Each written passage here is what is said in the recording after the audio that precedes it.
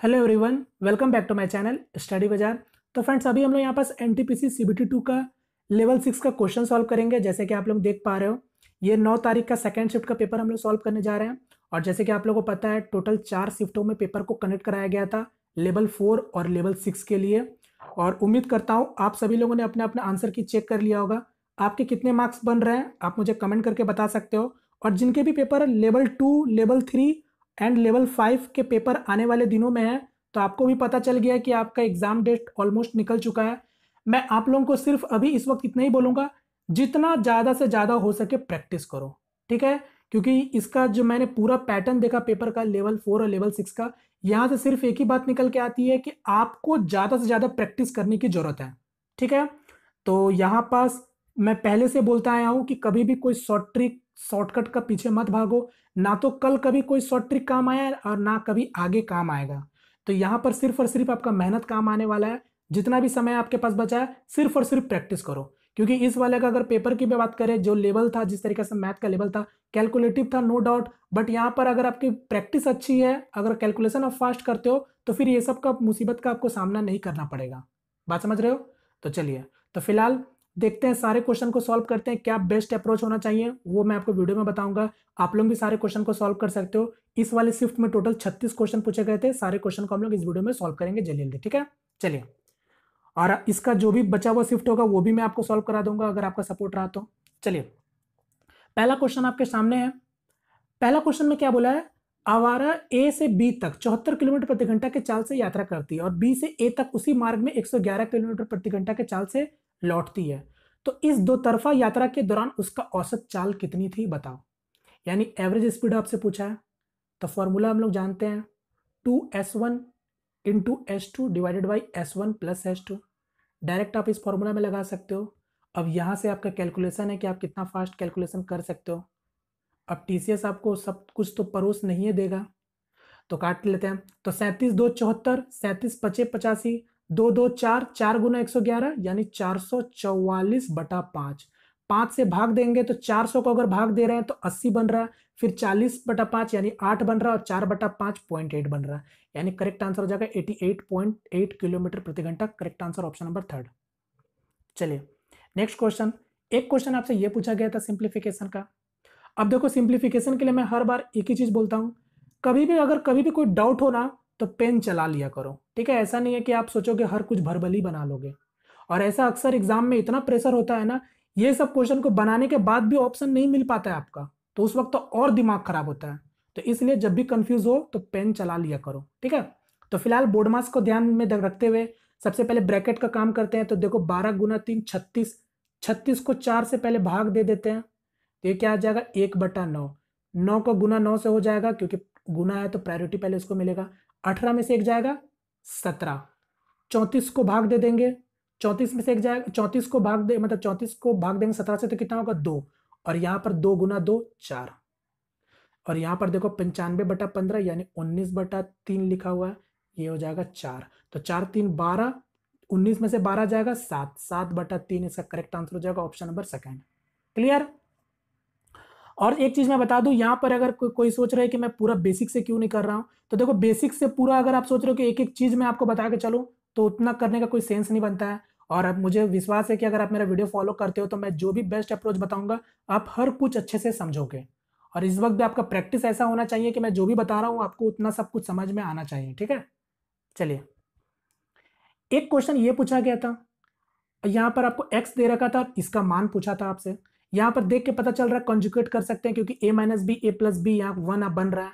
तो कंजुकेट करेंगे तो ऊपर क्या बन जाएगा? टू प्लस रूट थ्री का स्क्वायर बन जाएगा। यही एक्स आ गया। इसको सॉल्व कर लेते हैं या फिर सॉल्व डायरेक्ट भी कर सकते हो। ये आपके ऊपर है कि आप कितना समझ पा रहे हो जल्दी जल्दी तो दो का चार रूट तीन का तीन और plus two two four root three ये एक्स का मान आ गया, यानी इसी का वैल्यू आपसे पूछा था। तो चार, तीन, सात खत्म, यानी फोर रूट थ्री का स्क्वायर यानी चार का स्क्वायर सोलह गुना तीन अड़तालीस, correct answer option number third. अब एक चीज़ मैं और आपको बताऊँ, अभी ये सब क्वेश्चन देख के लग रहा होगा कितना इजी क्वेश्चन है। नहीं, मैं हमेशा से बता, बताते आया हूँ कि देखो, एक टेस्ट देना या फिर एग्ज़ाम देने का एक नियम होता है। आपको किसी क्वेश्चन का समय बचाकर किसी दूसरे क्वेश्चन में देना पड़ता है। यही बैलेंसिंग का एक नियम होता है। आप ऐसा नहीं कर सकते हो कि आपको हर क्वेश्चन को एक ही बराबर समय दे। किसी क्वेश्चन में अगर आप 20 सेकंड में बना ले रहे हो तो उस क्वेश्चन का समय किसी क्वेश्चन को आपको दो मिनट में भी बनाना पड़ता है। तो ये बीस बीस सेकंड बीस बीस सेकंड बचाए हुए समय को ही तो लगाते हैं ऐसे ऐसे क्वेश्चन में। बात समझ रहे हो? तो ऐसे क्वेश्चन को देख के मत सोचो कि बस ऐसे ऐसे क्वेश्चन तो आसानी से बन जाएगा। अब यही सब क्वेश्चन का समय मैं बचा के किसी और क्वेश्चन में देने वाला हूँ। बात समझ रहे हो? तो ऐसे ही करना होता है एग्ज़ाम हॉल में भी। चलो, एक क्वेश्चन आपका ये वाला देखो। यहाँ पर बोला किरण की शादी 20 वर्ष पूर्व हुई थी। आज किरण का आयु, उसके शादी के समय उसके आयु का ग्यारह बटा सात गुना है। तो अब से 10 वर्ष बाद बताओ किरण का आयु क्या होगा? तो देख लो, किरण का पूछा है तो ये पास्ट हो गया, ये प्रेजेंट हो गया। आपको सिंपली क्या बोला है कि कि आज किरण की आयु उसके शादी के समय से ग्यारह बटा सात गुना इसका मतलब अगर उसका पास्ट में सात था तो अभी ग्यारह है। बस खत्म। यानी चार का ही तो दे रखा है बीस साल के बराबर तो एक का मतलब पाँच साल। तो प्रेजेंट में कितना हो गया उसका एज? पचपन। मगर आपसे पूछा था दस साल बाद, यानी दस साल और चिपकाएँगे तो पैंसठ साल हो जाएगा। Correct answer option number first एक क्वेश्चन ये पूछा गया था, रेणु का प्राप्तांक गलती से नौ के, रेणु के प्राप्तांक गलती से नौ के स्थान पर निन्यानवे के रूप में अंकित हो गया। इस गलती के कारण, और देखो यहाँ पर इस वाले शिफ्ट में क्या गलती है, जो भी ऑब्जेक्शन भी आप लोगों को करना होगा, देख लेते हैं इस वाले शिफ्ट में कोई भी गलती निकल रहा है या नहीं निकल रहा, ठीक है? चलिए और कोई भी अगर आपको डाउट हो तो ग्रुप में भेज देना, वो भी मैं चेक कर लूँगा मैथ में। चलिए, फिर यहाँ पर क्या बोला रेणु के प्राप्तांक गलती से नौ के स्थान पर निन्यानवे के रूप में अंकित हो गया। इस गलती के कारण कक्षा के औसत प्राप्तांक वास्तविक औसत से 2.25 अधिक हो गए। ठीक है? कक्षा में छात्रों की संख्या कितनी थी बताओ। यानी सिंपली क्या बोला है कि नौ के जगह में निन्यानवे लिखा गया तो एरर कितना का दिख रहा? नब्बे नंबर का एरर दिख रहा। और इस नब्बे नंबर का एरर के कारण वास्तविक औसत में 2.25 से बढ़ जा रहा है। तो आपसे टोटल स्टूडेंट पूछा था तो टोटल स्टूडेंट पूछा था तो टोटल नंबर मतलब क्या? यही नंबर को इसके से भाग दे देंगे, जिससे मेरे को पता चल जाएगा टोटल नंबर है कितना कितने स्टूडेंट है। तो इसको भाग दे देते तो 25 से काटेंगे नौ, और ये चार, नौ, दस, चालीस। करेक्ट आंसर ऑप्शन सेकेंड एक क्वेश्चन ये पूछा गया था, किसी संख्या का एक बटा आठ, बिरालीस से आधे से बारह कम है तो उस संख्या का एक चौथाई बताओ क्या होगा? यानी बिरालीस से आधे से बारह कम है। यानी बिरालीस का आधा कितना हो जाएगा? ट्वेंटी वन माइनस एक्स बटा आठ इक्वल टू बारह के बराबर है। ये चीज़ आपको दे रखा था। आपको समझना था, यानी नौ अठे बहत्तर, यानी वो नंबर कितना है? बहत्तर। उसका एक चौथाई कितना हो जाएगा? अठारह। Correct answer option number first. अब ये सारे क्वेश्चन का समय मैं बचा रहा हूँ। ठीक है? चलिए next question. The length of base of triangle is six more than the corresponding attitude. If the area of triangle is 108 centimetre square find the length of base of triangle यानी सिंपली क्या बोला है कि किसी triangle में उसका जो आधार है, उसके हाइट से छः ज़्यादा है। जैसे कि अगर मान लो ये x है ना तो ये x माइनस सिक्स है और इसका एरिया भी दे रखा है। तो बस बनाओ। तो आपसे पूछा था, आधार पूछा था, अब इस क्वेश्चन को आप जैसा चाहो वैसा बना सकते हो। Half into base into height होता है, हम लोग ऐसे जानते हैं। और ये चीज़ 108 के बराबर है। अब देखो ऐसे ऐसे क्वेश्चन में ज़रूरी नहीं है कि आपको एक्स मान के बनाना ही है। मेरे पास ऑप्शन एग्ज़ाम हॉल में होता है, हम ऑप्शन से भी चेक कर सकते हैं। अगर आपको एक्स की आदत नहीं लगानी है तो डायरेक्ट भी आप चेक कर सकते हो। या फिर आप एक्स से उलझने की आपकी आदत है तो आप ऐसे भी चेक कर सकते हो। ठीक है? तो यहाँ पर आप चेक कर सकते हैं डायरेक्ट आपको ऑप्शन दिख रहा है अठारह। अठारह अगर उसका आधार है तो हाइट कितना होगा? बारह, क्योंकि छः ज़्यादा था। तो इसको सॉल्व करेंगे तो कितना आ जा रहा है? अठारह गुना छः एक सौ आठ, यानी correct answer option number first चलिए, एक क्वेश्चन ये पूछा गया था पाइप ए किसी टंकी को 50 परसेंट भाग चार घंटे में भरता है। पाइप बी उसी टंकी का पूर्ण रूप से 12 घंटे में भर सकता है। यदि दोनों पाइप एक साथ खोल दिया जाए तो टंकी को भरने में कितना समय लगेगा, ये आपसे पूछा है। अब 50 परसेंट में अगर आठ घंटा लग रहा तो 100 परसेंट में आठ घंटा लगेगा और इसको 12 घंटा लग रहा था, यानी टोटल 24 तीन दो। तो दोनों द्वारा टोटल कितने काम लगेंगे? चौबीस बटा पाँच घंटा। तो चौबीस बटा पाँच मतलब बीस बटा पाँच, यानी चार घंटा तो ऐसे निकल गया। प्लस चार बटा पाँच, इसको हम मिनट में चेंज करेंगे तो साठ से गुना कर लेते हैं। तो बारह चौके अड़तालीस, यानी चार घंटा अड़तालीस मिनट। अब देखो, एक क्वेश्चन ये पूछा गया था स्टैटिस्टिक में। अब देखो, इसमें क्या कंफ्यूज करने के लिए कितना अच्छा से टीसीएस आपके लिए बना दिया? ये क्या बोला कि मध्यकाय आपको इन नंबरों का मध्यकाय छह दे रखा है। और ए का मान पूछा है आपसे। और ए आपका एक नेचुरल नंबर है। देखो क्वेश्चन में कुछ भी है केवल गुमराह करने के लिए आपको बहुत अच्छे से दे दिया दे दिया। हम लोग को मध्यिका निकालने आना चाहिए। मध्यिका हम लोग पता है कैसे निकालते हैं? कोई भी पहले किसी भी नंबर, पहले कोई भी अगर ऑब्जर्वेशन रहता है, उसको हम लोग क्या करते हैं? असेंडिंग ऑर्डर में करते हैं, यानी आरोही क्रम में सजाते हैं, और बीच वाला नंबर ही मेरा क्या कहलाता है? मध्यिका कहलाता है। समझ रहे हो ना? तो बस, अब यहाँ पर आप शुरू हो जाओ। ये ए आ गया। ए बाई टू मतलब पॉइंट फाइव ए लिख सकते हैं। पॉइंट सिक्स सिक्स ए लिख सकते हैं। ए बटा चार मतलब पॉइंट टू फाइव ए लिख सकते हैं। और यहाँ पर थ्री बाई फाइव मतलब पॉइंट सिक्स ए लिख सकते हैं। यही पाँच नंबर है। बीच वाला नंबर मेरा क्या कहलाएगा? मध्य का कहलाएगा। अब समझो नंबर को अरेंज करो और अरेंज भी करना नहीं है। यानी बीच वाला नंबर को पकड़ना। सबसे बड़ा नंबर ये वाला हो गया। सबसे बड़ा नंबर ये वाला हो गया। उसके बाद ये वाला नंबर हो गया। यानी सबसे बड़ा नंबर ये, फिर उसके बाद ये, अब बीच वाला नंबर आ गया ये। तो बस, यानी point six A equal to six के बराबर है। तो पॉइंट हटाएँगे तो यहाँ दस चपकाना पड़ेगा तो छह से छह, यानी ए का मान आ गया दस correct answer option number D खत्म। एक क्वेश्चन ये पूछा गया था, इसको देख लो। सॉल्व कर सकते हो तो point five plus two into point zero seven minus point three into यहाँ पर क्या हो जाएगा? पॉइंट थ्री सॉल्व कर लेते हैं तो पॉइंट फाइव ठीक है? पॉइंट फाइव यहाँ आ गया और ये आ गया सात दो चौदह, यानी point one four minus point zero nine. तो यहाँ पर कितना हो जाएगा? ये चौ, चौदह है, पचास यानी चौंसठ हो गया और यहाँ से मेरा पॉइंट नाइन मतलब पॉइंट ज़ीरो नाइन माइनस करेंगे तो कितना आ जाएगा? पचपन आ जाएगा यानी करेक्ट आंसर हो जाएगा ऑप्शन डी। चलिए। अब एक क्वेश्चन, इसको ट्राई करो। क्या बोला है? के व अधिकतम मान ज्ञात कीजिए, जिसे छह अंकों की संख्या में के के स्थान पर रखने पर यह संख्या छह से विभाज्य हो। यानी ये जो नंबर है two four three one two के ये छह डिजिट का नंबर है, जो कि ये नंबर सिक्स से डिविजिबल हो रहा है। तो आपसे के का मैक्सिमम मान पूछ रहा है। तो सिक्स का डिविजिबिलिटी रूल हम लोग को पता होना चाहिए कि जो नंबर दो और तीन से भाग हो जाए, वही नंबर सिक्स से भी डिवाइड होगा। अब दो का जानते हो डिविजिबिलिटी रूल क्या होता है? इकाई अंक सम संख्या या सम संख्या होना चाहिए, यानी इवन नंबर होना चाहिए। और तीन का डिविजिबिलिटी रूल जानते हैं नंबर का योग जो होगा, वो तीन से डिविजिबल होना चाहिए। बस। तो चार दो छः छः तीन चार दो छः छः तीन नौ, दस दो बारह, यानी बारह प्लस के अब देखो के का मान क्या क्या हो सकता है? के का मान ज़ीरो हो सकता है के का मान क्या हो सकता है? थ्री हो सकता है के का मान क्या हो सकता है? सिक्स हो सकता है, और के का मान आपका नाइन हो सकता है। और कोई नंबर हो सकता है क्या? नहीं हो सकता। अब ध्यान देना, इकाई अंक सम संख्या होना चाहिए। यानी ये ये ये नंबर तो ऐसे ही खत्म हो गया और ये नंबर भी ऐसे ही खत्म हो गया। तो या तो ज़ीरो या तो सिक्स तो मैक्सिमम वैल्यू पूछा है तो यानी मैक्सिमम मान क्या होगा? Six correct answer option number third next question अब इसको देखो। अब देखो, इस टाइप के क्वेश्चन में आपको समय लगेगा कहीं ना कहीं। यहाँ पर क्या बोला ए किसी वस्तु को बारह हज़ार तीन सौ में खरीदता है और उसे दो सौ भाड़े पर व्यय कर देता है।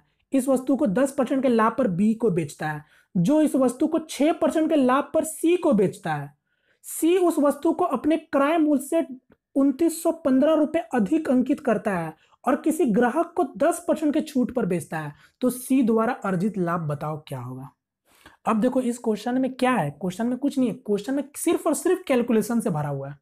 अब यहाँ पर कैलकुलेशन आपको करना ही पड़ेगा किसी भी हालत में। कोई शॉर्ट ट्रिक आप लगाने बैठोगे तो फिर सब कुछ बिगड़ सकता है। यहाँ पर देखो, ए का सामान कितना था? बारह हज़ार तीन सौ दो सौ रुपया खर्चा किया, यानी कितना हो जाएगा? बारह हज़ार पाँच सौ। दस परसेंट के लाभ पर बेचा यानी one two five zero add कर दो इसमें। ये क्या बन गया? बी के लिए कॉस्ट प्राइस बन गया। अब बी भी क्या किया? सी को चपका दिया छह परसेंट के लाभ पर। तो तिरपन और ये पाँच पाँच से काट लेते तो पाँच, दो, दस, सात, पाँच, पैंतीस और पाँच, यानी दो सौ पचहत्तर गुना तिरपन। इसको गुना करना पड़ेगा हम लोग को। यहाँ आप किसी से बच नहीं सकते हो। पाँच तीन पंद्रह, पाँच तीन पंद्रह, सात तीन, इक्कीस पाँच तीन पंद्रह, सात इक्कीस, दो, तीन दो, छः, दो, आठ। पाँच पच्चे पच्चीस पच्चीस, दो, सात पाँच, पैंतीस, दो, पाँच, दो, दस और तीन। यानी यहाँ पर कितना आ गया? पाँच, सात, आठ, सात, पंद्रह, वन, फोर। यानी चौदह हज़ार पाँच सौ पचहत्तर रुपये आ गया सी के लिए। यानी सी के लिए क्राइम मूल्य क्या हो गया? ये हो गया। अब मेरे को ज़रूरत किसी का नहीं है, क्योंकि सी के बारे ही पूछा है तो मैं हटा रहा हूँ। यानी सी के लिए वैल्यू क्या आया था? चौदह हज़ार पाँच सौ पचहत्तर रुपया। अब क्या बोला था? C two nine one five add कर दिया। तो कितना बन गया? नौ पाँच नौ पाँच चौदह, चार दो छः सात एक। अब ये मार्क प्राइस बन गया, अब उसमें से दस परसेंट का छूट दे दिया। तो यानी नब्बे परसेंट ने बेच दिया सामान को। और वही पूछा कितना का लाभ हुआ है? ध्यान दीजिएगा, ये सीपी हो गया सी के लिए, याद रखिएगा। अब इसको सॉल्व कर लेते हैं तो नौ नवे इक्यासी आठ, नौ चौके छत्तीस, चार चौवालीस, चार नौ सत्तर तिरसठ और सड़सठ छः और यहाँ पर नौ छः पंद्रह, यानी वो बेचा है इतना में। अब देखो, इतना में बेचा था, ये इसका क्राइम मूल है। तो कितना का प्रॉफिट हो रहा है? ग्यारह में से पाँच जाएगा, छः। इकाई अंक पे छः, यानी correct answer option number first अब आगे करने का ज़रूरत नहीं है आपको। चलिए नेक्स्ट क्वेश्चन एक क्वेश्चन ये पूछा गया था पी क्यू आर एस केंद्र ओ वाले एक वृत्त में स्थित एक चक्री चतुर्भुज है। पी क्यू आर और पी एस आर के अनुपात ग्यारह और सात है। तो यदि पी क्यू क्यू आर के बराबर है तो ओ पी का मान बताओ क्या होगा? अब इस क्वेश्चन को ध्यान से समझना क्वेश्चन में यहाँ पर बहुत लोग कंफ्यूज खा जाएँगे मतलब गच्चा खा जाएँगे। और क्वेश्चन का ऑप्शन भी देखो ना, कितना आराम से दे रखा है कि डायरेक्ट कोई नहीं भी बनाएगा ना, हल्का से भी समझा भी होगा ज्योमेट्री पढ़ा होगा आंसर बता देता। देखो, समझ लेते जल्दी जल्दी। क्या बोला है कि ओ सेंटर वाले एक ओ सर्कल मतलब ओ के सेंटर वाले में पी क्यू आर एस एक साइक्लिक कोऑर्डिनेटर है, ठीक है, जिसमें से पी क्यू क्यू आर बराबर है। तो साइक्लिक कोऑर्डिनेटर बना लेते हैं आराम से। तो ये P हो गया मान लेते ये Q हो गया, ये R हो गया, ये S हो गया। ये समझने का केवल मैं इतना समझा रहा हूँ, ठीक है? मेरे को क्या बोला था? पी क्यू आर और पी एस आर यानी इसका अनुपात दे रखा था। कितना? ग्यारह और सात का अनुपात दे रखा था। तो आपको पता है क्वाड्रिल चतुर्भुज में क्या होता है? अपोजिट एंगल का जो सम होता है, कितना होता है? एक सौ अस्सी, यानी ग्यारह, सात, अठारह अठारह मतलब एक सौ अस्सी मतलब एक का मतलब दस। यानी आप समझ गए कि यानी ये मेरा मान कितना होगा? एक सौ दस होगा, सीधी सी बात है। और ये कितना होगा? सत्तर होगा। बोलो क्लियर है सभी को? सेंटर को समझना। सेंटर मेरा यहाँ पर क्या होगा? ओ सेंटर होगा। अब यहाँ पर बहुत लोग गच्चा क्या खा जाते हैं? ये सेंटर मान लो यहाँ बना दिए और मान लो पी को हम आर से जोड़ रहे हैं। पी को हम आर से जोड़ दिए ऐसे। तो वो क्या करते हैं? सेंटर से ही जोड़ देते हैं और यहीं पर गच्चा खा जाते हैं। सेंटर से नहीं जोड़ना, क्योंकि सेंटर तो अलग है ना मेरा भाई। सेंटर अलग है और ये आपका सर ये सेंटर हो गया ओ पॉइंट समझ रहे हो? अब मेरा कहना क्या है? आपसे पूछा क्या था ओ पी क्यू यानी ये वाला चीज़ आपसे पूछा है, समझो? समझ गए? क्वेश्चन क्या पूछा है आपसे? बस, अब शुरू हो जाओ, जैसे जैसे जल्दी शुरू हो सकते हो आप लोग। तो अब हम लोग यहाँ पर क्या कर सकते हैं, समझो? तो देखो, अब आपको पता है कि ये ये और ये मेरा बराबर है, ध्यान देना। ये और ये मेरा बराबर है तो आपको पता होना चाहिए, अगर ये मेरा 110 है, ये मैं देखो ये 110 है ना? और यहाँ से क्या हो जा रहा है? ठीक है। अब देखो ये 110 है जैसे कि हम ये देखो ये यहाँ अगर ये वाला जो चीज़ देख रहे हो ट्रायंगल पी क्यू आर तो ये 110 है दोनों रेडियस है तो मतलब ये कितना हो जाएगा? आ, सत्तर का आधा यानी पैंतीस ये हो गया और पैंतीस ये हो गया। कि सबको क्लियर है? क्योंकि आमने सामने का अगर साइड इक्वल है तो एंगल भी इक्वल हो जाएगा। ये पैंतीस हो गया मगर मेरे को सिर्फ़ पूरा निकालना है मेरे को ये पूरा निकालना है। तो अब आप समझो यहाँ से, अब आप समझ सकते हो, अगर आपको ये मैंने सर्कल में पढ़ाया था ज्योमेट्री में, अगर ये आप इसको कॉर्ड अगर आप इसको मानते हो, ये पी क्यू अगर ये कॉर्ड है और ये वाला मेरा आर्क है, ठीक है, ये अगर आर्क है, यानी ये आपका चाप है तो आपको तो मैंने बताया था ना कि सेम कॉर्ड से सरकमफ्रेंस पे, यानी यहाँ पर अगर ये 35 एंगल बना मतलब ये ये सरकमफ्रेंस यानी परिधि पर अगर ये 35 बन रहा है तो सेंटर पे कितना एंगल बनेगा? जस्ट उसका डबल यानी ये क्या बनेगा? सत्तर बनेगा। यानी ये सत्तर हो गया तो आप समझ गए अगर ये सत्तर है तो ये भी क्या रेडियस का काम कर रहा है और ये भी मेरा रेडियस का काम कर रहा है। तो यानी ये सत्तर यानी एक सौ दस का आधा आधा कितना होगा? पचपन। यानी ये डायरेक्ट आपको पता चल गया ये हो गया मेरा पूरा पचपन। अगर आपसे सिर्फ़ ये वाला पूछता तो ये क्या हो जाता? फिर बीस हो जाता। बात समझ रहे हो? तो बस ये समझना था पचपन डिग्री। क्लियर? चलिए।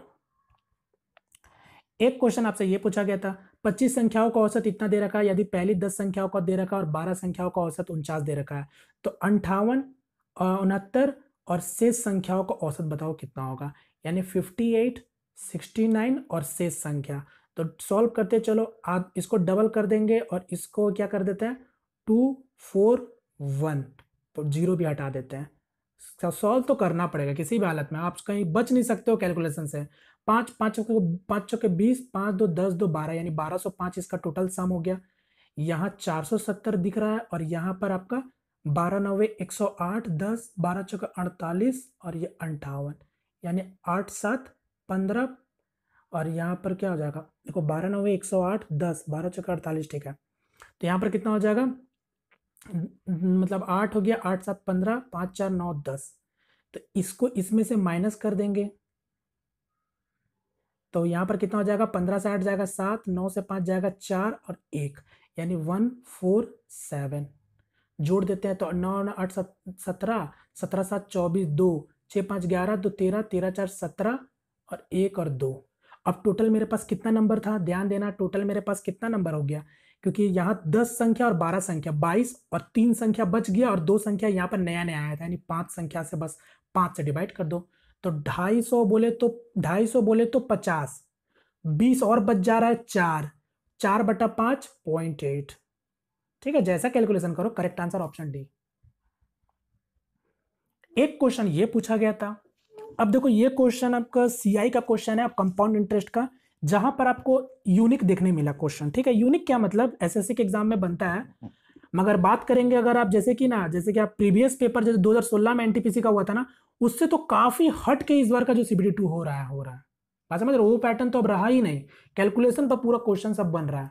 अब इस क्वेश्चन में देखो क्वेश्चन में कुछ खास नहीं है बस केवल चार माही का क्वेश्चन है ठीक है? मतलब आठ माही का क्वेश्चन है। यहाँ पर क्या बोला? एक निश्चित धन राशि में अठारह परसेंट वार्षिक चक्रवृद्धि ब्याज के दर पर एक वर्ष चा, चार महीने के लिए निवेश किया जाता है जिस पर ब्याज का गणना आठ मासिक चक्रवृद्धि आधार पर की जाती है। यदि प्राप्त चक्रवृद्धि ब्याज थ्री एट वन सिक्स है तो तो धनराशि आपसे पूछ रहा बताओ कितना होगा। अब आपको यहाँ पर यही चीज़ समझना है कि अठारह परसेंट वार्षिक है। वार्षिक समझ रहे हो ना? बारह महीने का है। बारह महीने का है। तो एक महीने का जब आप निकालने बैठोगे तो क्या आ जाएगा? अठारह बटा बारह। यानी कितना आ जाएगा? छ और ये दो।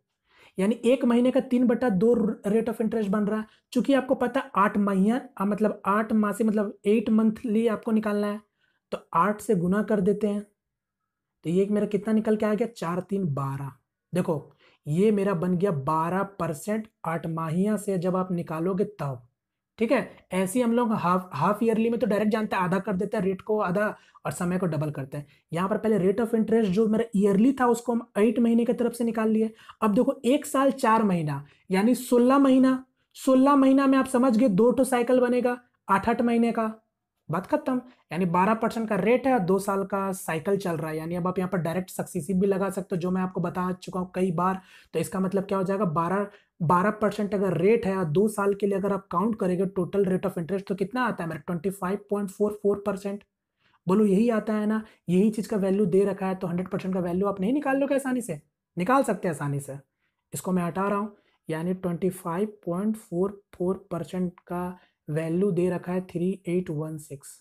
तो इसको सॉल्व कर लो और हंड्रेड परसेंट का वैल्यू बता दो। तो पच्चीस से काट देंगे या मतलब पॉइंट को आएँगे तो दो ज़ीरो और लगाना पड़ेगा।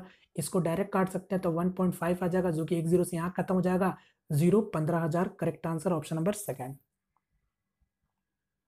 चलिए, एक क्वेश्चन ये पूछा गया था, एक व्यक्ति शांत जल में 11 किलोमीटर प्रति घंटा के चाल से नाव चला सकता है। धारा का चाल पाँच बटा छह मीटर पर सेकंड है तो धारा का विपरीत में 36 किलोमीटर की दूरी तय करने में कितना समय लगेगा बताओ? तो x दे रखा है यानी 11 किलोमीटर प्रति घंटा, y दे रखा है पाँच बटा छ मीटर पर सेकंड है तो चेंज कर लेते किलोमीटर प्रति घंटा में। ये आपको पता है, ये बोट का स्पीड है शांत जल में और ये आपका धारा का स्पीड है। हमसे क्या पूछा था? छत्तीस किलोमीटर तय करने में कितना समय लगेगा? विपरीत दिशा में। यानी x माइनस वाई यानी ग्यारह से तीन जाएगा आठ, यानी इसको सॉल्व कर लो। तो आठ चौके बत्तीस और आधा, यानी साढ़े चार घंटा का समय लगने वाला है। Correct answer option number first एक क्वेश्चन ये पूछा गया था, किसी निश्चित धन राशि पर पंद्रह परसेंट वार्षिक दर से तीन एक सहित तीन वर्ष का प्राप्त साधारण ब्याज। समान धनराशि पर बारह परसेंट वार्षिक दर पर पाँच एक सहित दो वर्ष में प्राप्त साधारण ब्याज से अठारह सौ चालीस कम है। तो धनराशि बताओ क्या होगा? तो ये साधारण ब्याज है, आपको पता है। जैसे तोड़ो, मोड़ो, मरोड़ो, कुछ भी नहीं फ़र्क पड़ता है। तो पंद्रह परसेंट से टोटल दस बटा तीन को जब हम सॉल्व कर रहे हैं तो टोटल रेट ऑफ़ इंटरेस्ट कितना निकल के आ रहा है? पचास परसेंट का। बारह परसेंट का रेट से जब हम पाँच यानी पाँच दो दस ग्यारह बटा दो को सॉल्व कर रहे हैं, यानी टोटल रेट ऑफ़ इंटरेस्ट यहाँ से कितना आ रहा है? छियासठ परसेंट। सेम प्रिंसिपल था तो रेट ऑफ़ इंटरेस्ट में फ़र्क कितना का आ रहा है? सोलह का फ़र्क आ रहा है। यही सोलह का फ़र्क आपको इतना के बराबर दे रखा है तो हमसे प्रिंसिपल पूछ रहा था तो प्रिंसिपल आप नहीं बता दोगे। पच्चीस से काट लेंगे चार बार में मतलब चार से काटेंगे पच्चीस बार में, और चार से काटेंगे और ये चार, और यहाँ से काट लेंगे चार चौके सोलह छः ज़ीरो। तो सॉल्व कर लो तो ये क्या आ जाएगा? टू थ्री ज़ीरो और ये आ जाएगा पचास तो ज़ीरो ज़ीरो पाँच, तीन, पंद्रह, ग्यारह, यानी ग्यारह हज़ार पाँच सौ correct answer option number second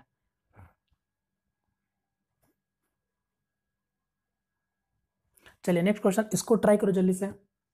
यहाँ पर क्या बोला? एक विद्यालय में कक्षाएँ पाँच, छह, सात में क्रमश, तीन सौ साठ, पाँच सौ बीस, दो सौ अस्सी छात्र हैं।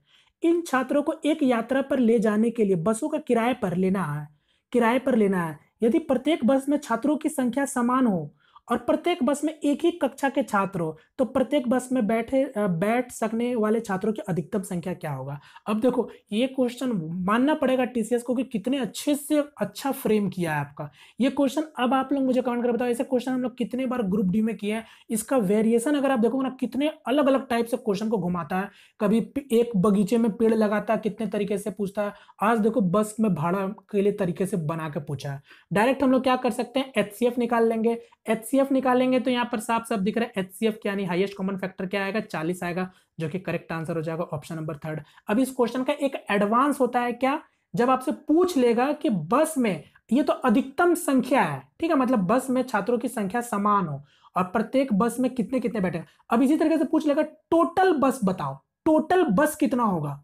बात को समझो, ये क्वेश्चन पूछा है कि बस में छात्रों की मैक्सिमम कितना होना चाहिए। अगर आपसे यही पूछ लेता है कि टोटल कितना बस होगा तो फिर आप इससे करते, ये चालीस से भाग देते, नौ ठो बस यहाँ निकलता, और जो कि सबको सेम क्लास का स्टूडेंट को सेम बस में रहना है, ठीक है? यहाँ से चालीस से भाग देंगे तो तेरह आएगा और ये सात आएगा। तब मेरा आंसर क्या बनता क्या मेरा बनता? टोटल उनतीस बस होता। देखो, इसका एडवांस वाला भी मैं बता दे रहा हूँ आपको। बात समझे? मगर यहाँ पर पूछा था फ़िलहाल कि मैक्सिमम बताओ कितने एक बस में बैठेंगे? टोटल बसों की संख्या इतनी होती है और आपसे मैक्सिमम चालीस चालीस करके बैठते हैं। चलो, हटाओ। एक क्वेश्चन ये इसको देखो। सैतालीस सौ पचास की धनराशि को एक निश्चित वार्षिक साधारण ब्याज के दर पर पाँच एक सही दो वर्ष के लिए निवेश किया गया। परिवक्ता पर दय धनराशि अड़सठ सौ चालीस रुपए थी तो भुगतान किए गए साधारण ब्याज का वार्षिक प्रतिशत दर बताओ क्या होगा? तो रेट ऑफ़ इंटरेस्ट पूछ रहा है तो हम डायरेक्ट देख लेते हैं। Four seven five zero. कितना निकला है आपको? कितना रेट ऑफ़ इंटरेस्ट चौदह से पाँच जाएगा नौ, ज़ीरो, और ये आपका यहाँ से क्या जाएगा? छः से जाएगा दो। यानी आप समझो टोटल मेरा जो इंटरेस्ट मिल रहा है, वो क्या मिल रहा है? यही मिल रहा है। यही मेरा इंटरेस्ट है दो हज़ार नब्बे, और इसका टोटल रेट ऑफ़ इंटरेस्ट निकालेंगे तो यही मेरा आएगा। और आपको पता है सिंपल इंटरेस्ट है तो कोई फ़र्क नहीं पड़ता। है पाँच दो दस, ग्यारह बटा दो इंटू एक्स यही बराबर होगा। सॉल्व करते चलो आप जल्दी जल्दी। अब तो आपके ऊपर है ना कि आप कितना जल्दी बनाना चाहोगे? तो 25 से काटना चाहो, काट लेते हैं तो 25 से काट देंगे तो 25 से कम 25 पच्चीस से नहीं काटेंगे, या फिर 25 से काट देते हैं तो ज़ीरो को हटा देते हैं, ठीक है? यहाँ पर ज़ीरो कंसिडर करके चार कर देते हैं, अब फिर काट लेते हैं। तो 25 से कम 25 और ये आ गया 22 और पाँच, यानी ये 19 आ गया, ठीक है? 19 और ये आपका 11 एक एक और ये नौ, ठीक है? और ये क्या हो गया? उन्नीस गुना चार छिहत्तर हो गया। गुना दो छः दो बारह छः दो बारह, सात दो चौदह, एक पंद्रह, और यहाँ पर ग्यारह से काट लेते हैं। तो एक, और कुछ गड़बड़ हो रहा, कुछ गड़बड़ हो गया। क्या गड़बड़ हुआ पता नहीं, देख लेते जल्दी से। तो सिक्स एट फोर ज़ीरो, देखो, इतनी गर्मी लग रही ना, मेरे से भी गड़बड़ हो जा रहा। है तो ज़ीरो चौदह से पाँच जाएगा नौ ठीक है, चौदह से पाँच जाएगा, आठ, सात से सात जाएगा, ज़ीरो और ये छः से चार जाएगा दो। ये मेरा टोटल रेट ऑफ़ इंटरेस्ट है और ये इतने समय के लिए एक्चुअली मैं ये समय थोड़ा उल्ट उठपुटा दे दिया, ठीक है? आप चाहो तो एक साल का भी कर सकते हो, तरीका बहुत सारा है। मगर मैं क्या कर रहा हूँ टोटल रेट ऑफ़ इंटरेस्ट से कंपेयर कर ले रहा हूँ तो टोटल रेट ऑफ़ इंटरेस्ट ये फोर सेवन फाइव ज़ीरो का।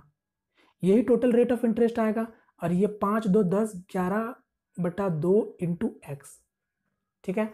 अब आराम से सॉल्व कर लेते हैं। तो 25 से काटेंगे तो 25 से कम 25 और ये जो 22 आएगा पाँच, यानी नौ बार में, ठीक है? नौ और ये आपका यहाँ ज़ीरो आ गया, पच्चीस से काट लेंगे चार आ गया यहाँ पास, और काटते हैं, काट, ग्यारह से काट लेते हैं, अब ये इसको यहाँ से तो ग्यारह एकम ग्यारह और ये नौ और ज़ीरो हो गया, ये ऐसे ऐसे पूरा कट गया, चार दो आठ percent, correct answer option number second. चलिए एक क्वेश्चन इसको देखो। समय बचाओ, जल्दी जल्दी। विकर्ण दे रखा है। किसी घन का विकर्ण है तो रूट थ्री ए आपको दे रखा है बारह के बराबर। तो भुजा मेरा क्या निकल के आ जाएगा? बना लो जल्दी से। तो कंजुकेट कर दिया तो ये आ जाएगा बारह रूट थ्री तीन, यानी फोर रूट थ्री हमसे वॉल्यूम पूछा है तो वॉल्यूम मतलब ए का क्यूब तो चार का क्यूब कितना हो जाएगा? चौंसठ। और रूट तीन का क्यूब थ्री रूट थ्री यानी one ninety two root three centimetre cube, correct answer option number second. एक क्वेश्चन ये पूछा गया था, अब ऐसे ऐसे क्वेश्चन में समय बचाना है। तीन, नौ सत्ताईस इक्यासी, यानी चार, यानी तीन point six four into point three six. Base same है तो पावर क्या हो जाएगा? एड यानी थ्री के पावर में वन, आंसर ऑप्शन थर्ड। एक क्वेश्चन ये पूछा गया था, ज़बरदस्त क्वेश्चन पूछा गया था, इसको ट्राई करो फिर से। मैं कंपाउंड इंटरेस्ट के ऊपर सोच रहा हूँ वीडियो बनाने का, जो एट मंथली वाला टाइप का क्वेश्चन को लेकर, ठीक है? फ़िलहाल इस क्वेश्चन को देखो। देखो क्या लिखा जब ब्याज की गणना आठ मासिक चक्रवृद्धि आधार पर की जाती है, अब अठहत्तर सौ रुपए की धनराशि एक्स परसेंट वार्षिक दर से दो साल में इतना हो जा रहा। यदि ब्याज का गणना अर्धवार्षिक चक्रवृद्धि आधार पर की जाती है तो समान धनराशि पर एक्स प्लस फाइव परसेंट वार्षिक दर से एक वर्ष में चक्रवृद्धि ब्याज क्या, बताओ कितना होगा? अब ये क्वेश्चन डिपेंडेंट इनडिपेंड मतलब डिपेंडेंट है। पहले तो आपको निकालना पड़ेगा एक्स का वैल्यू, फिर जाके हम आगे सॉल्व करेंगे हाफ़ ईयरली पर। तो आपको अभी मैंने बताया, जैसे कि आप समझ भी पाए हो कि ये एट मंथली चल रहा है।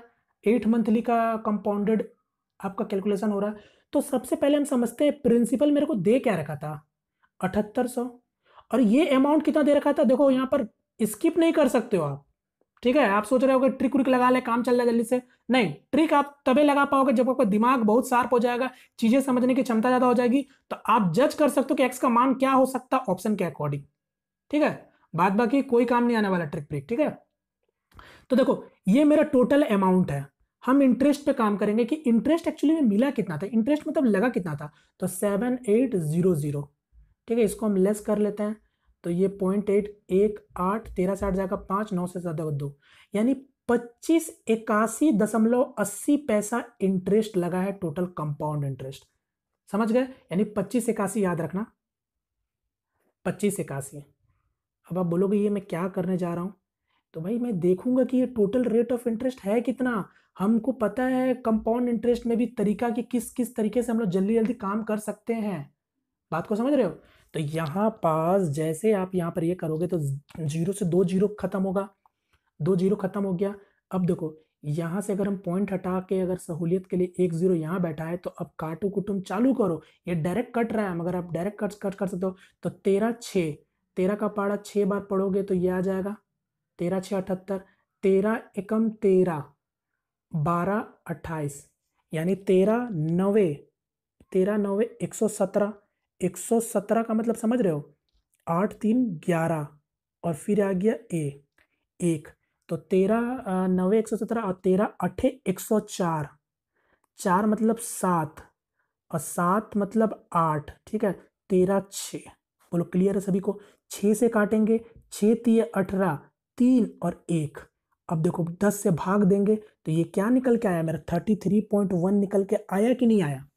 आया ना, आया आया आराम से। तो बस अब ये दिमाग में आपको देख के घंटी नहीं बज रहा है कि ये थर्टी थ्री पॉइंट वन और आपको पता है आठ मतलब आठ एट मंथ करके आपको कंपाउंडेड जोड़ना है। और दो साल के लिए अगर बात करें तो चौबीस महीना। चौबीस महीने में तीन साइकिल बन रहा है। बात समझो आठ आठ महीने का। तो आपको पता है कि नहीं पता है? दस परसेंट का रेट ऑफ़ इंटरेस्ट है तीन साल के लिए टोटल रेट ऑफ़ इंटरेस्ट कितना होता है? तैतीस दशमलव एक परसेंट, यानी रेट आपने बता दिया कि दस परसेंट होगा। मगर ध्यान दीजिएगा, गलती अभी भी आप कर लोगे कि ये रेट जो निकला है एक्स का मान नहीं है, ये एट मंथली बेसिस पर मेरा रेट निकल के आया है। इसका मतलब इसका मतलब मैं बोलना चाहता हूँ कि एट मंथ में जो रेट ऑफ़ इंटरेस्ट का जो था सीन वो मेरा निकल के आया है दस। तो आपको तो ईयरली दे रखा है ना यहाँ। तो ईयरली आपको निकालना पड़ेगा। तो चार से काटेंगे तीन और दो से काटेंगे पाँच। यानी ईयरली जो मेरा निकल के आया है, ये वार्षिक निकल के आया पंद्रह। अब आप समझ गए, पंद्रह, पाँच, बीस। तो बीस आपका नया बन के आया रेट ऑफ़ इंटरेस्ट और अर्धवार्षिक के तौर पे गणना करना है तो यानी रेट को कर देंगे आधा और समय को कर देंगे डबल यानी टाइम हो गया दो साल और रेट हो गया दस परसेंट का। तो टोटल रेट ऑफ़ इंटरेस्ट कितना आ जाएगा? इक्कीस परसेंट इक्कीस परसेंट अब आप नहीं निकाल दोगे अठहत्तर सौ का। अब तो इतना कुछ तो मैं कर दूँ तो बचेगा क्या आपके लिए?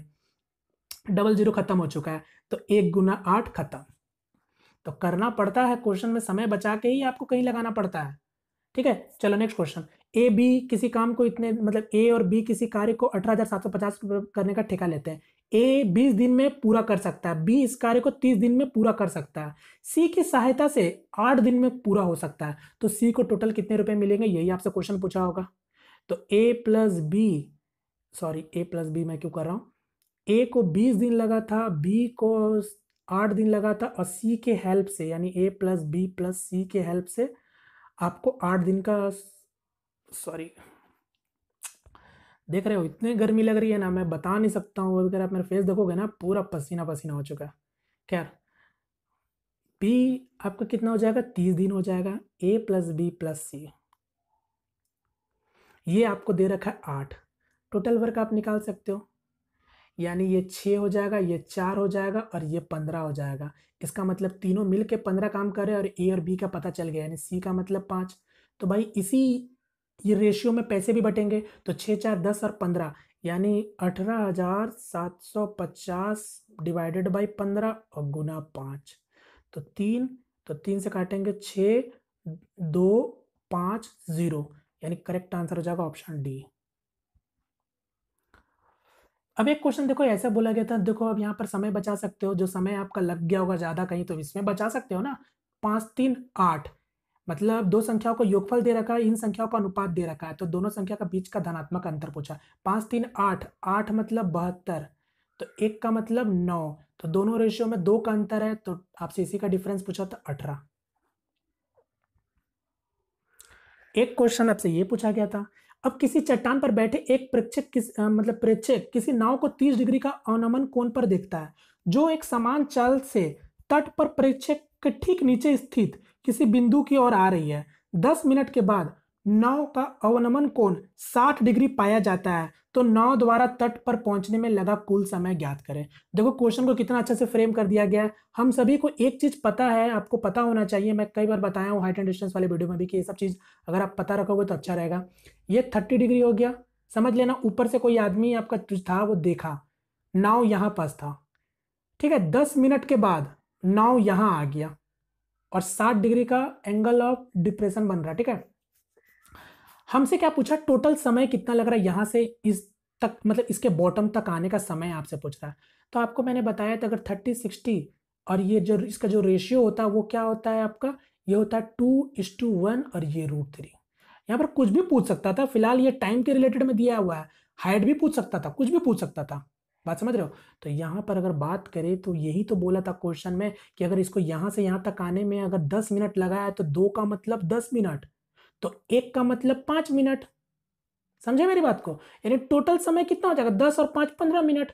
Correct answer option number third चलिए, एक क्वेश्चन ये पूछा फिर से। ए प्लस बी का वह अधिकतम मान ज्ञात कीजिए, जिसके लिए आठ अंकीय संख्या पंद्रह से विभाजय हो। तो चलो भाई देख लेते हैं four five two three A six zero B ये नंबर आठ डिजिट का नंबर है। अब पंद्रह से डिविजिबल अब पंद्रह का डिविजिबिलिटी रूल पता होना चाहिए आप सभी को। पंद्रह का डिविजिबिलिटी रूल तो तीन का पता है, अभी मैंने बताया। पाँच का डिविजिबिलिटी रूल क्या होता है? नंबर के लास्ट में आइधर ज़ीरो या तो फाइव होना चाहिए। सीधी सी बात है। तो आपको पता है, पहले हम नंबर को सबको जोड़ लेते हैं। तो पाँच, चार, नौ नौ, पाँच, चार, नौ नौ, दो, ग्यारह ग्यारह, तीन, चौदह चौदह छः बीस। यानी क्या आ गया? बीस। बीस प्लस ए प्लस बी। अब मेरी बात को समझना। यानी ये नंबर तीन से डिविजिबल हो रहा है। मतलब ये जो नंबर है मतलब तीन से डिविजिबल है तो साथ ही साथ ए प्लस बी का मैक्सिमम मान बताना। अब मैं आपको बताना क्या चाहता हूँ, समझो। ए प्लस बी का मैक्सिमम वैल्यू हो क्या सकता है? समझाने के लिए बता रहा हूँ, इतना कुछ तो डायरेक्ट आप बनाओगे, बताओगे। चलो। ए प्लस बी का मैक्सिमम वैल्यू हो क्या सकता है? तो आप बोलोगे, भैया वन हो सकता है। जी, हो सकता है। फिर उसके बाद क्या हो सकता है? तीन मतलब इक्कीस हो गया, इक्कीस चार मतलब ये आपका चार हो सकता है। ए प्लस बी का मान चौबीस सात हो सकता है। ए प्लस बी का मान, यहाँ देखो अभी अभी सब आपका क्लियर हो जाएगा डाउट ए प्लस बी सात हो सकता है। ए प्लस बी यहाँ पर और क्या हो सकता है? सात के बाद आपका बीस सत्ताईस हो गया, सत्ताईस के बाद तीस, यानी ये दस भी हो सकता है। ए प्लस बी का मान, यहाँ पर तेरह भी हो सकता है। ए प्लस बी का मान, सोलह भी हो सकता है। और ए प्लस बी का मान, उन्नीस भी हो सकता है। अब आप बोलोगे भैया इतना करने की क्या ज़रूरत है? आप समझ रहे हो तो सही बात है, इतना करने की कोई ज़रूरत नहीं है। मगर अब देखो ए प्लस बी का यही सब मान होगा मैक्सिमम मान की बात कर रहा हूँ मैक्सिमम में मेरा फोकस होगा। तो आपको अभी मैंने बताया, इकाई अंक हमेशा मेरा क्या होगा, पाँच या तो फिर ज़ीरो, या तो पाँच या तो ज़ीरो।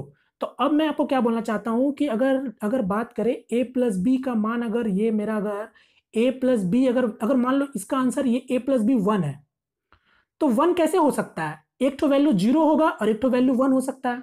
यानी ये हो सकता है आंसर अब ये दूसरा वाला की बात करें, चार। चार कैसे हो सकता है? चार अगर होगा तो एक तो वैल्यू चार होगा, एक तो वैल्यू ज़ीरो होगा। ये भी हो सकता है, बात सही है। सात की बात करें तो एक वैल्यू सात होगा और एक वैल्यू ज़ीरो होगा। सीधी सी बात है। मगर जैसे दस की ओर आ रहे हैं तो दस में आप कैसे कर सकते हो? तो आप बोलोगे, भैया, हम पाँच पाँच कर देंगे। क्योंकि इकाई अंक को भी फिट करते चलना है ना तो ये भी हो सकता है। अब उसी तरीके से बात करेंगे ए प्लस बी तेरह। तो तेरह कैसे बैठाओगे? तो आप बोलोगे, भैया, आठ और पाँच भी कर सकते हैं। इकाई अंक पाँच बना के चल रहे हैं हम। ये भी हो सकता है। मगर सोलह की जैसे बात करेंगे, सोलह कैसे आप बनाओगे? तब फिर आप यहीं पर गच्चा खा जाओगे। सोलह तो बनने से रहा नहीं, क्योंकि आप नौ और सात करोगे। पाँच का तो कोई भी आपका कोई कॉम्बिनेशन बनाना पड़ेगा, जो कि पॉसिबल ही नहीं है। ना ये पॉसिबल है, ना ये पॉसिबल है। यानी सिर्फ़ और सिर्फ़ इसका ये सब वैल्यू हो सकता था, जो कि मैक्सिमम पूछा था तो ए प्लस बी का वैल्यू थर्टीन होगा, यानी correct answer option number second clear समझे? चीज़ें सिर्फ़ समझने वाली थी। चलो नेक्स्ट क्वेश्चन दी गई भिन्न में से एक बटा दो से कौन सा कम है? यानी एक बटा दो से कम की बात कर रहा है तो यानी वन बाई टू का वैल्यू कितना होता है आधा। अब चेक कर लो। यानी पचास बटा नौ नौ पचे पैंतालीस ये तो कभी इसका आंसर नहीं होगा। अठारह पच आ, मतलब अस्सी है ना तो पंद्रह पचे पचहत्तर ये भी नहीं होगा। और डेढ़ सौ यानी एक सौ पचपन ये इसका ही करेक्ट आंसर हो सकता है। Correct answer option number third क्योंकि पॉइंट फाइव दिख रहा पॉइंट फाइव से कम चाहिए था। एक क्वेश्चन तीस मीटर ऊंचाई के मीनार के सिर से एक व्यक्ति भूतल पर भू, भूतल पर खेल रहे किसी बच्चे को तीस डिग्री का अनुमान कोण पर देख रहा है? मीनार का पद बिंदु और बच्चे के बीच की दूरी ज्ञात करे। ठीक है? और क्या लिखा हुआ है? गणना हेतु आदमी और बच्चे की ऊंचाई का नगन मान निक लीजिए चलो हटाओ नॉर्मल सा क्वेश्चन है। तो ये आप समझ गए। क्वेश्चन के अकॉर्डिंग ये थर्टी दे रखा है, ये ये मेरे को थर्टी ये भी दे रखा है और ये सिक्सटी जानते हो और ये नाइन्टी जानते हो। सभी लोग जानते हैं थर्टी सिक्सटी नाइन्टी का रेशियो थर्टी सिक्सटी नाइन्टी का रेशियो तो पता है ना? वन रूट थ्री टू करने का ज़रूरत ही नहीं है। मेरे को यही यही डिस्टेंस पूछा था ना? तो यानी इसका मतलब अब थर्टी एंगल के सामने यानी वन का वैल्यू दे रखा है थर्टी और मेरे से इसका मान पूछा था thirty root three correct answer option number third एक क्वेश्चन ये पूछा गया था, छत्तीस सेंटीमीटर लंबाई और सोलह सेंटीमीटर चौड़ाई वाले एक आयताकार धात्विक सीट से छः चार, दो त्रिज्या वाली तीन वृत्तकार प्लेट काट कर निकाली जाती है। यदि धात्विक सीट के शेष भाग का क्षेत्रफल एक वर्ग के क्षेत्रफल के बराबर है तो उस वर्ग का प्रत्येक भुजा की लंबाई बताओ क्या होगा?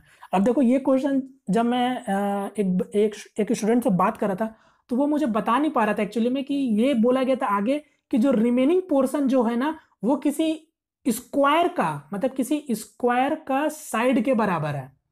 अब अब समझ आया क्वेश्चन क्या है। तो नॉर्मली क्वेश्चन को समझो। क्वेश्चन में क्या बोला है कि एक रेक्टेंगुलर शीट है जिसका दे रखा डायमेंशन थर्टी सिक्स और सिक्सटीन का।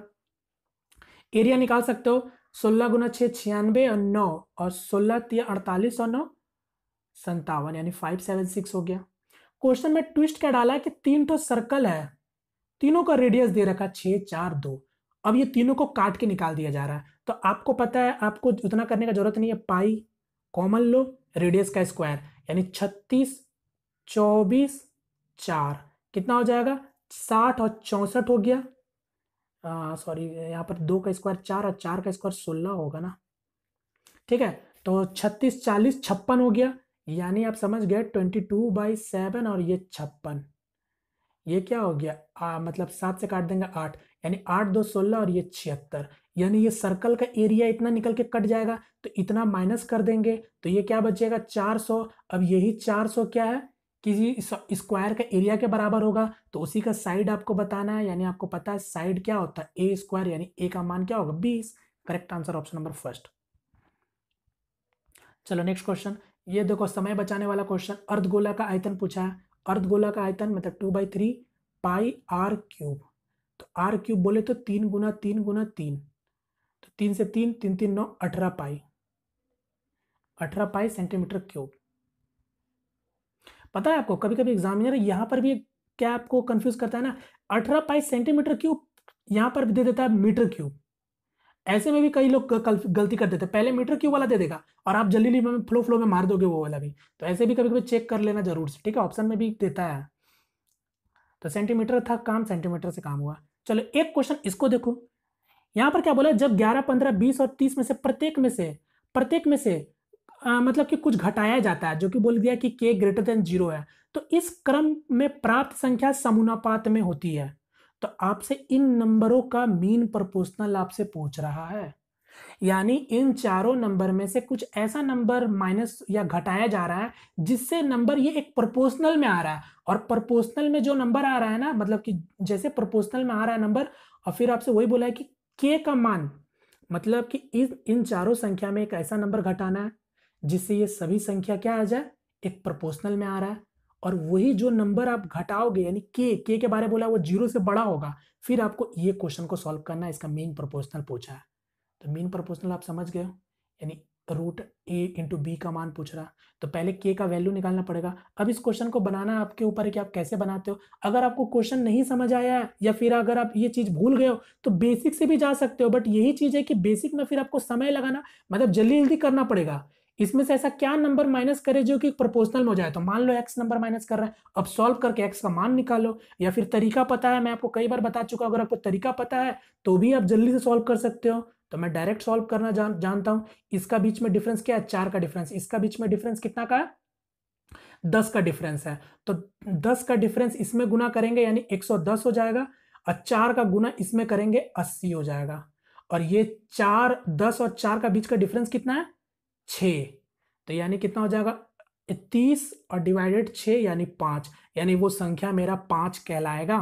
बात खत्म। तो अगर के का मान पाँच है तो पाँच, दो, दस, दो, बारह अब पाँच अब पचहत्तर। तो इन्हीं दो नंबर का तो आपसे मीन प्रपोर्शनल पूछा है ना? तो अब आप इसको सॉल्व नहीं कर लोगे तो बारह को कैसे लिख सकते हैं? चार गुना तीन। पचहत्तर को कैसे लिख दें हम लोग?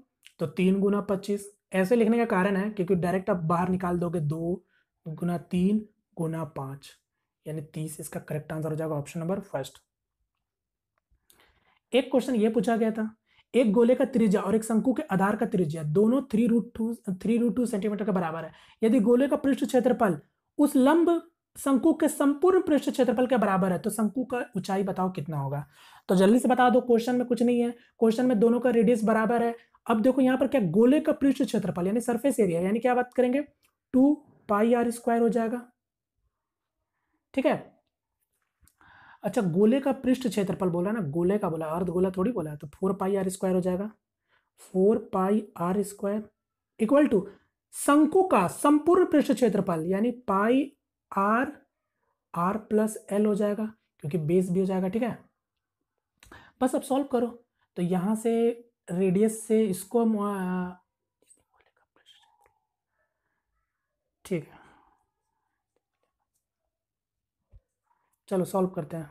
तो यहाँ से पाई पाई तो कैंसिल हो जा रहा रेडियस एक आर यहाँ से भी खत्म हो गया। Four into three root two है। और ये आर का मान कितना दे रखा था मेरे को?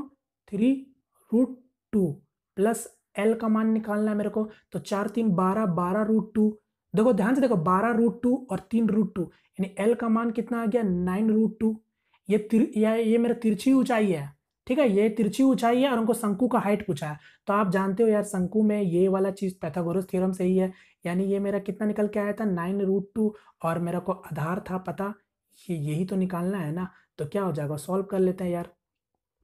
तो एक्स मान लेते हैं अगर इसको तो एक्स स्क्वायर क्या आ जाएगा? एक्स स्क्वायर क्या आ जाएगा? नौ, इक्यासी। इक्यासी गुना दो, एक सौ बासठ माइनस तीन तीन, नौ नौ, दो, अठारह। यानी सॉल्व करेंगे तो कितना आ जाएगा? एक सौ चौवालीस। यानी एक्स स्क्वायर का मान एक सौ चौवालीस तो एक्स का मान कितना आ जाएगा? बारह, यानी correct answer option number third एक क्वेश्चन ये पूछा गया था, प्रेक्षणों को एक निश्चित संख्या का मध्य बारह यदि उनमें से एक प्रेक्षण को निकालने पर मध्य अपरिवर्तित रहता है तो निकाला गया प्रेक्षण, बताओ क्या होगा? अब अगर कोई डेटा का ऑब्जर्वेशन का मीन अगर बारह है, उसमें से कोई एक वैल्यू निकाल रहा है, जिससे एवरेज में या फिर मध्य में कोई फ़र्क नहीं पड़ रहा मीन में तो वो नंबर आपसे पूछा है तो कोई फ़र्क नहीं पड़ा, इसका मतलब वो नंबर बारह ही होगा। कोई छेड़छाड़ नहीं किया गया तो correct answer option number first एक क्वेश्चन ये पूछा गया था, एक एक डीलर किसी वस्तु को उसके अंकित मूल्य पर 16 परसेंट के छूट के बाद चार सौ तीन रुपये बीस पैसे में बेचता है। यदि वह उसे कोई छूट नहीं देता है तो उस वस्तु का क्रय मूल्य क्रय मूल्य पर अट्ठाईस परसेंट का लाभ होता है तो वस्तु का क्रय मूल्य आपसे पूछा है। अब देखो, सोलह परसेंट का छूट दे रहा है, इसका मतलब चौरासी परसेंट। यानी इसी चौरासी परसेंट का वैल्यू दे रखा है चार सौ तीन रुपये बीस पैसा। तो आप हंड्रेड परसेंट का वैल्यू निकाल सकते हो, जो कि मेरा क्रय मूल नहीं होगा, वो अंकित मूल्य होगा, ठीक है? तो ज़ीरो अगर हटाएँगे तो ये पॉइंट हट जाएगा। अब यहाँ काट लेते हैं, दो से काटेंगे तो ये पाँच बार में कट जाएगा और ये फोर और टू हो जाएगा। सात से काट लेंगे तो सात छः बिरालीस, सात, पचे, पैंतीस, पाँच और तीन सत्य सत्य उनचास, चार, दो, सात छः बिरालीस छः से काट लेते हैं तो नौ छः चौवन और तीन और छः, छियानवे गुना पाँच। तो छियानवे गुना पाँच बोले तो चार सौ अस्सी रुपये ठीक है? यानी ये आ गया मेरा चार सौ अस्सी रुपये पूरे सामान का कीमत है, याद रखना। ये मेरा आया है मार्क प्राइस, आप इसको कंसिडर कर सकते हो चार सौ अस्सी। मगर ये जब कोई डिस्काउंट ही नहीं देगा तो इसको एक सौ अट्ठाईस परसेंट का लाभ होगा। इसका मतलब यही एक सौ अट्ठाईस परसेंट का वैल्यू निकल के आया चार सौ अस्सी। हमसे पूछा था हंड्रेड परसेंट रियल वाला, यानी कॉस्ट प्राइस का। मूल्य पूछा था। सॉल्व कर लेते हैं। तो चार से काटेंगे तो तीन, दो, ये पच्चीस हो गया। चार से काटेंगे तो आठ, चार से काटेंगे तो एक, दो, ज़ीरो, फिर आठ से काट लेंगे तो ये पंद्रह बार में कटेगा तो पंद्रह पच्चीस, पचहत्तर, सात, तीस, सैंतीस। Correct answer option number D. चलिए नेक्स्ट क्वेश्चन। यहाँ पर क्या बोला? यदि एक धनात्मक संख्या का वर्ग उसके संख्या के पाँच गुना से छः अधिक है तो संख्या बताओ क्या होगा? सिंपल क्वेश्चन जैसा बनाना चाहो बना दो, ऑप्शन आपके पास है। यदि किसी मतलब यदि एक धनात्मक संख्या का वर्ग, यानी कोई नंबर का एक्स स्क्वायर उस संख्या के पाँच गुना से छः अधिक है, यानी सिक्स मतलब पाँच गुना ना five X equal to six के बराबर है तो संख्या आपसे पूछा तो X square minus five X minus six equal to zero तो एक्स का दो वैल्यू दिख रहा है यहाँ पास एक आपका सिक्स हो जाएगा और एक आपका वन हो जाएगा, क्योंकि छः गुना एक और चूँकि माइनस में हो जाएगा पॉजिटिव हो जाएगा, यानी एक्स का वैल्यू पॉजिटिव वाला six correct answer option number second next question और मेरा आज का लास्ट क्वेश्चन होगा डिसाइड डीआई का क्वेश्चन एक ही। शिफ्ट इस शिफ्ट में टोटल एक ही डीआई के क्वेश्चन पूछे गए थे और डीआई के क्वेश्चन बहुत कम ही पूछे जा रहे हैं, ठीक है? जैसे कि पहले का अगर ट्रेंड देखेंगे तो काफ़ी क्वेश्चन पाँच छह क्वेश्चन डीआई का था बट इस वाले में डायरेक्ट एक ही डीआई था देखने को मिला। तो ये डीआई जो छोटा दिख रहा है, यहाँ पर मैंने थोड़ा बड़ा में कर दिया। बन, देख लेते क्या बोला। 2001 से बैच दो में प्रतिशत उम्मीदवार की संख्या 2005 में बैच पाँच के प्रतिशत उम्मीदवार की संख्या कितना प्रतिशत अधिक है बताओ। ये नॉर्मल सा डेटा दे रखा है, नीचे दिखे तरीका में छह वर्षों का 2001 से छह का दौरान दे रखा है, ठीक है? चलो तो 2001 में बैच दो तो 2001 में बैच दो 2001 में बैच दो में कितना दिख रहा है? One four four. और 2005 में बैच फाइव, यानी नब्बे। कितना ज़्यादा है, यही आपसे पूछा है। तो कितना ज़्यादा दिख रहा है? चौवन ज़्यादा दिख रहा। है तो वही परसेंट में आपसे पूछा है। तो ज़ीरो ज़ीरो नौ छः छः गुना दस, साठ percent correct answer option number third clear चले। तो इसी के साथ ये मेरा पूरा कंप्लीट होता है। यहाँ पर अगर बात करेंगे, एक भी क्वेश्चन मुझे एरर देखने नहीं मिला तो इस वाले शिफ्ट में कोई भी ऑब्जेक्शन मैथ में नहीं आपको दिखा मेरे को, ठीक है? अब आप बाकी का आगे का तीन शिफ्ट देख लेंगे कि कुछ एरर है या नहीं है, ठीक है? तो इसी के साथ ये वाला मेरा पूरा खत्म होता है। उम्मीद करता हूँ चीज़ें आप सभी लोग अच्छे से समझ पाए होंगे। मैं फिर से आपको जाते जाते यही चीज़ बोलूँगा, जितना ज़्यादा से ज़्यादा हो सके प्रैक्टिस करो। क्योंकि देखो, प्रैक्टिस जितना करोगे, ये आप पर एग्ज़ाम में उतना ही हेल्प करेगा। कोई ट्रिक व्रिक काम नहीं करता, वह आप देख चुके हो। ठीक है? तो चलिए, फ़िलहाल यहाँ बस वीडियो को वाइंड अप करता हूँ। और सेशन पसंद आया तो प्लीज़ सेशन को ज़रूर से लाइक कीजिएगा। चैनल पहली दफ़ा है तो चैनल को सब्सक्राइब ज़रूर करिएगा मिलते हैं फ्रेंड किसी नेक्स्ट वीडियो में, तब तक के लिए जय हिंद, जय भारत।